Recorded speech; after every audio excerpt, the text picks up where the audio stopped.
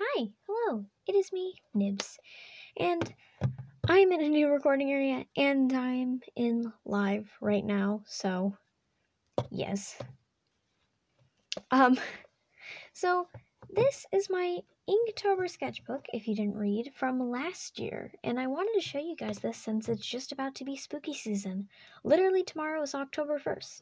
Well, not of recording, but it's Wednesday when I'm recording this, but when I'm uploading it, it'll be October tomorrow.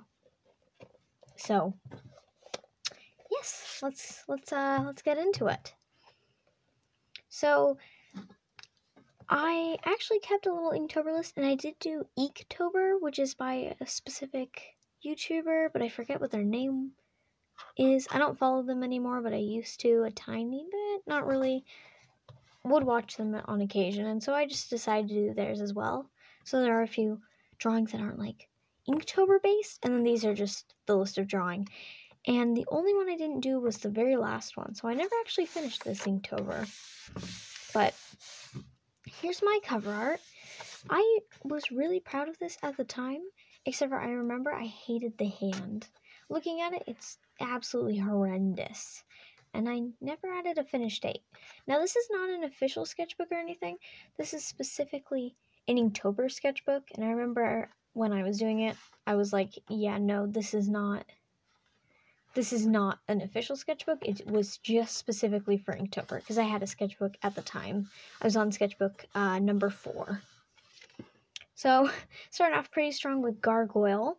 And I mean, it's it's interesting. I was using this page as a planning page, which later on I can't do because I realized that I was running out of pages more rapidly.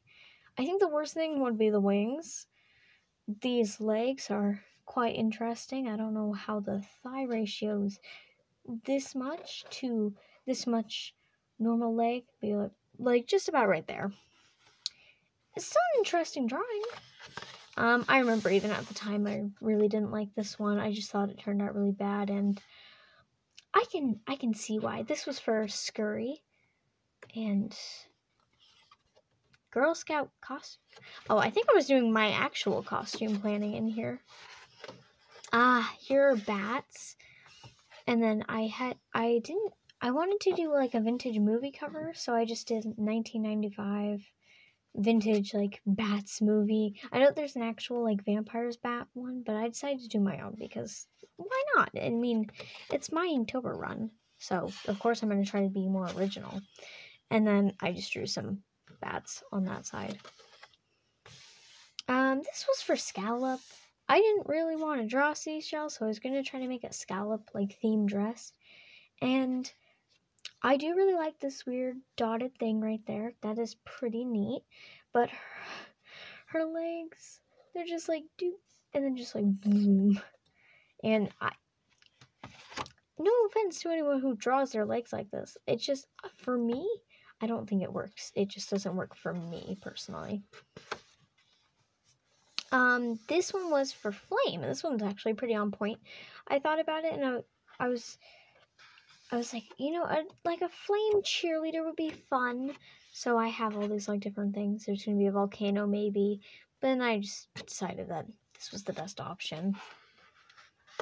Ah, this was for bouquet. I actually still really kind of like this one, specifically like the mouth and eyes. I think it's pretty interesting. And if you notice, all the flowers are pretty much eyes. Like even this one is like a a Pikachu eye, which I think is fun. Well, I guess that one's not an eye, but it's a broken heart. So I guess they're all kind of a body part except for the pot.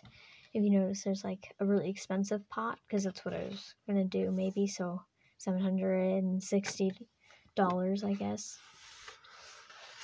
Um, here was for Trip.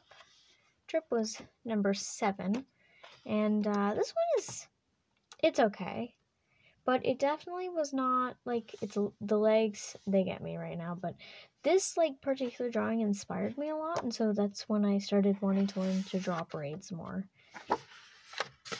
This was from match and this is where my obsession with drawing two characters that look very similar do like some pose that matches each other and stuff and this was also one of the first times i learned how to draw holding hands. These aren't very great Um, there should be a thumb like right there, but hey, it was like my first time. Also, what, what are these Dr. Seuss hands? And of course, the legs are absolutely horrendous, but I think it's good for match.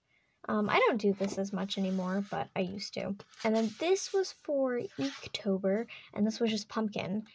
So pumpkin week one, because each one was for one one time a week, and so I I just did pumpkin. I don't think I ended up ever finishing Inktober, and I only did pencil for those ones. this is Nest. This was the, the prompt Nest, and so I was I thought about a bee nest, a lot of bird nests, because that's that's the one I think about the most. So I just made my own kind of little creature, and I think it's kind of fun. To be honest, I do really like these drippy patterns. This was kind of when I learned how to draw drips. This was uh, crabby, but I was thinking about it. It was like a little crabby could be fun, and then I was doing it like like doing different people that looked like a crab, and then I just decided to do Krabby from Pokemon. And this isn't a bad drawing, but it isn't the greatest, and I thought it'd be fun to do like the iconic where he foams around himself scene, so I just did that. Uh, this was for Eagle. Even at the time, I didn't really like this one. I couldn't, I, I just didn't know what to do, so I put the word right here, but yeah. I, I don't even know. I guess I smudged right there too. Uh, this was for Forget. I I think I was pretty neutral about this. Oh, there's my bird. She was all fluffed up. Pearl. Hmm. Sweet baby. Ah, this was for Magical week two, which was for Inktober. And this was when I was just like, yeah, no, I'm not really feeling it much, but I do like this card trick thing right here. I think that that is pretty cool. This was for Kind, which I like the concept. It just doesn't work. It like it does it just doesn't work. But I had a lot of fun doing this one because I got to like I got to do like fun practice sketches and stuff. This was for empty, and I actually really liked the concept for this one. I don't like the way it looks, um, but the concept is nice. I think the shorts have too much detail to them, but I think that was a big problem with a lot of them. And also, I wish I had put like more black on her design. She's lacking a bit in that department. This was for Armadillo, and this is the most how do I say this that YouTube isn't gonna like slap a slap a thing on me? This is the most um let's just say that uh, Mary Jane was at play here with that there uh that armadillo and she was not messing around and this nurse knows what she is doing. She's going to help this poor armadillo from its uh Mary Jane. Anyway, YouTube's gonna can me about this, but that, that's okay. Uh, here's a pink fairy armadillo, and I remember it was that because I was going to draw a pink fairy armadillo, but I didn't. Um, this was I did this one more in a, a little mini style, and I did fowl, so I did a game coach. I originally was gonna do a bird, like a like a bird fowl, because they're called fowls sometimes. I don't know. I like I like this concept much more, and that one's not even a bad one. Um, uh, salty, even at the time, it looks wrong. And I think one thing that looks even worse now is I almost always draw ears for my characters, so this just looks horrendous. Also, the legs inconsistency size is hilarious to me. This was for Scrape, and I'm not good at rollerblades now, but I'm definitely better than when this happened. And these look like they, they look like space boots to me. Oh, and this was when I realized I was running out of pages. So this was for ponytail. So I did a. Uh, not sure what the fashion is, but I do like the ponytail. It's it was very much inspired by um Mawile. And then this was for um Bluff. So I thought it'd be fun to do a little blood splatter maybe with some silver and just have her say, "Oh, oh, just paint." Um, this technically is anatomically correct. Not the feet. Obviously, it's not like really, but in the position, the knee was bent, to be fair. It's just I didn't draw them proportionately enough for it to make any sense. So yeah. Oh, I still really, really like Bad Dog. I think that the dog turned out so cute. He just looks so innocent. I definitely have drawn something even now. So I actually really, really like Bad Dog. I think it's really cute.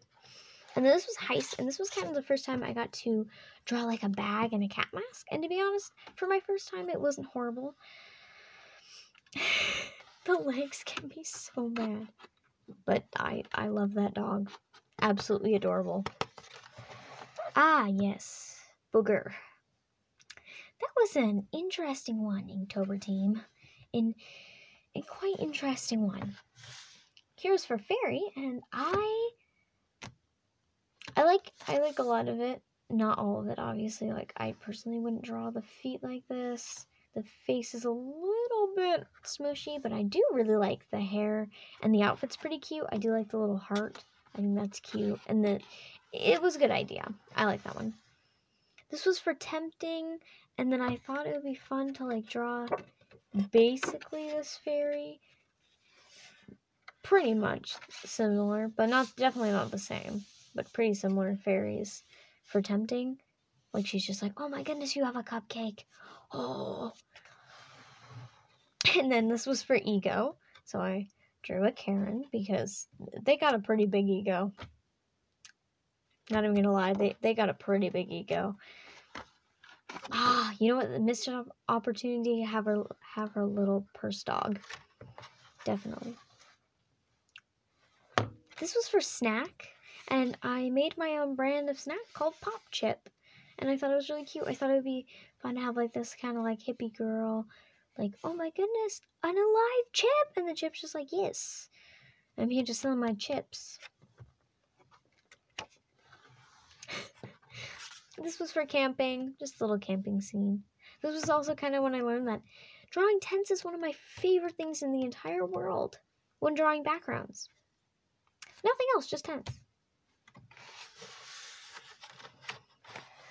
And then this was for uh-oh. And uh, I think I could have done this one definitely better.